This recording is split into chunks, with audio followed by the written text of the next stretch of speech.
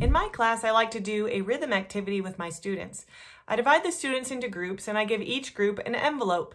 And inside the envelope are a ton of tiny little pieces with little bits of notes and rhythms. Students are able to use a number line that they use for a measure to build a bunch of different rhythms.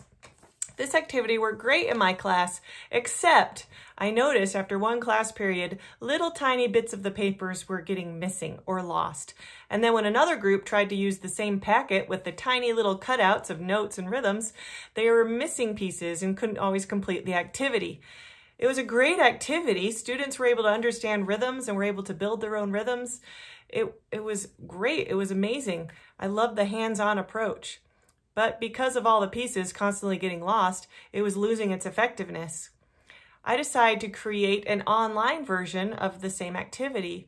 I used Google Slides to make tiny little squares with rhythms and I made the number line. And then I put that assignment in Canvas where students can open up the slide and drag around the notes to put them on the number line to make their own rhythms. This worked so much better online than it did in person with the tiny bits of paper. First of all, nothing was lost, of course, because it was all on the computer. It was really easy for students to manipulate the Google slide and to move the boxes where they needed to go.